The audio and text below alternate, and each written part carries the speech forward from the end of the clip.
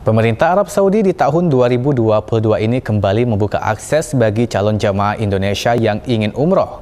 Sementara itu, Kanwil Kemenak Tanjung Jabung Barat masih menunggu juknis dari Kemenak RI terkait hal tersebut. Kabar gembira bagi para jemaah haji dan umroh Indonesia.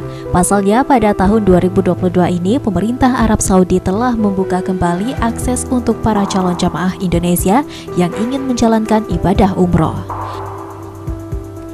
Akan tetapi di Tanjung Jabung Barat, Kanwil Kemenak Tanjung Jabung Barat masih belum dapat memastikan hal tersebut sebab pihaknya masih menunggu petunjuk teknis dari Kemenak Republik Indonesia.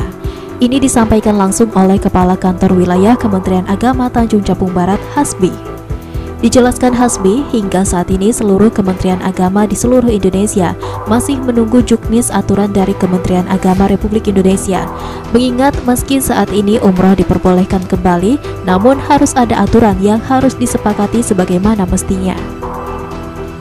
Sebab dijelaskan Hasbi, meski telah dibuka kembali umroh, namun ada aturan yang harus ditaati. Salah satunya penambahan uang administrasi umroh.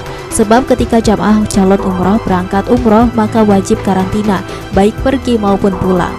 Sedangkan hingga saat ini pihak Kemenak Tanjab Barat belum menerima data jamaah calon umroh dari travel umroh yang ada di Kabupaten Tanjung Jabung Barat.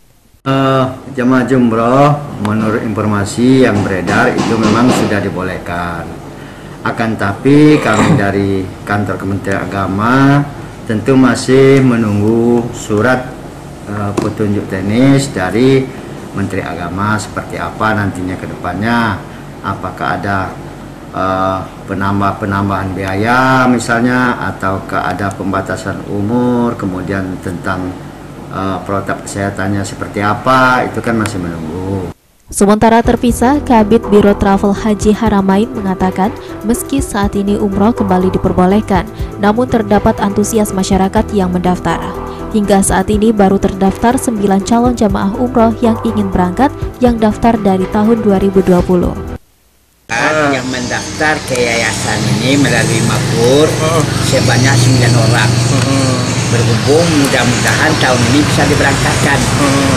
Tapi untuk berangkat tanggal 2 Januari kemarin yang ditunda dari tanggal 23 itu berangkat tanggal 2 ini. Tanggal 2 itu kebanyakan pengurus baru yang berangkat. Hmm. untuk menengok situasi bagaimana perkembangannya perjalanan.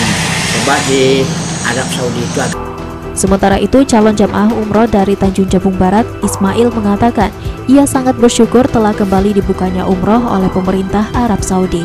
Sebab umroh sudah sangat dinanti ia bersama keluarga besarnya. Dengan harapan nantinya umroh benar dapat terlaksana dengan baik sesuai harapan. Surya Kurniawan, Cek TV, melaporkan.